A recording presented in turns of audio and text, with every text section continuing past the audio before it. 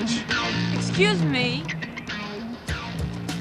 Look, uh, probably my fault. I'm sorry. Probably.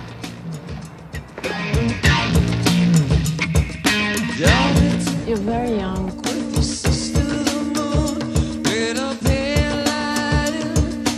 Where's your home? Look, let no, me give you No, keep a your hands off my stuff. I'm sorry. I, I was. It was my fault. I apologize.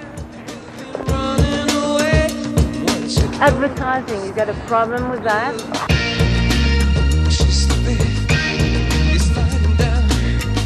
Drop it. You won't go out with successful guys. It's not about success. It's about what type of person they are. And what type of person is he?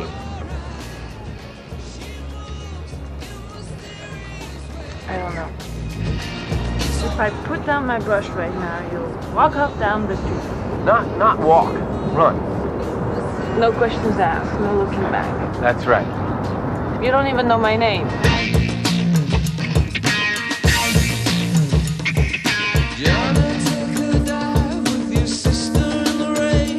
I work right up there.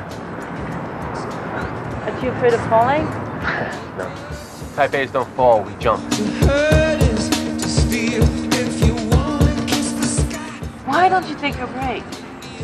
Go to the country. Have a weekend to yourself. Write a poem. I'm Peter. You look like a Peter. Okay. No. You're a big boy. I don't like to talk about me. Why not? It dispels that air of mystery I like to cultivate. Well, uh, I'll, uh, I'll see you around.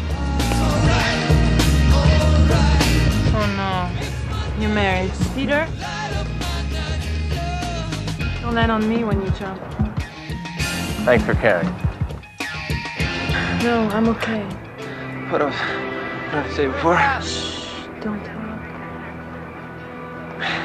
I'm not married. I'm having the best day of my life.